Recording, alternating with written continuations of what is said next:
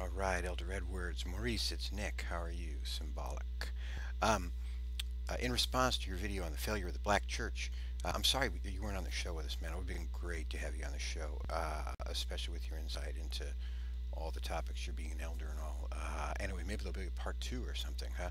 Um, so, uh, great video, but I gotta, you know, we had this conversation about a year ago, and I gotta, I just gotta talk to you about it again where you talk about taking religion out of the schools and shutting the door on religion in the schools.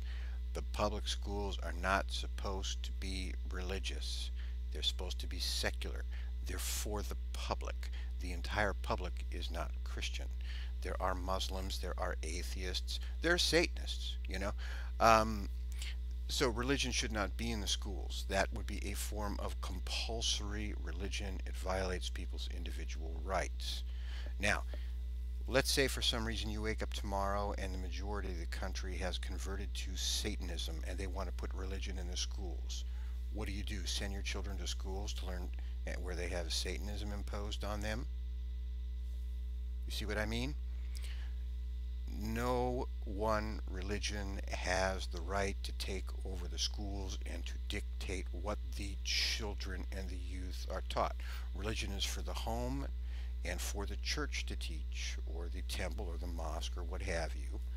Um, and uh, if if you want to, you know, a parent has a right to send their child to a particular religious school if they wish, but not the public schools.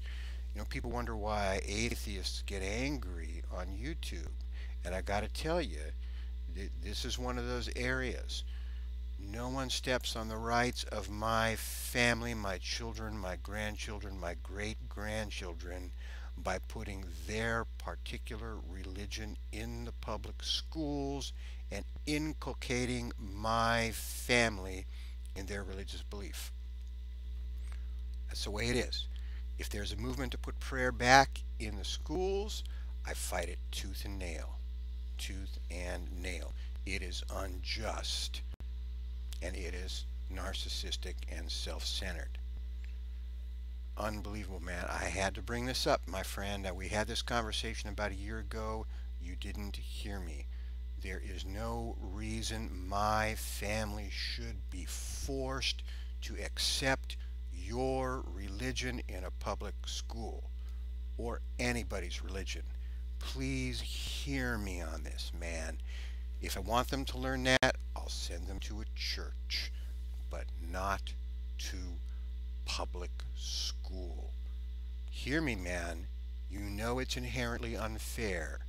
It tramples my individual religious rights. Okay?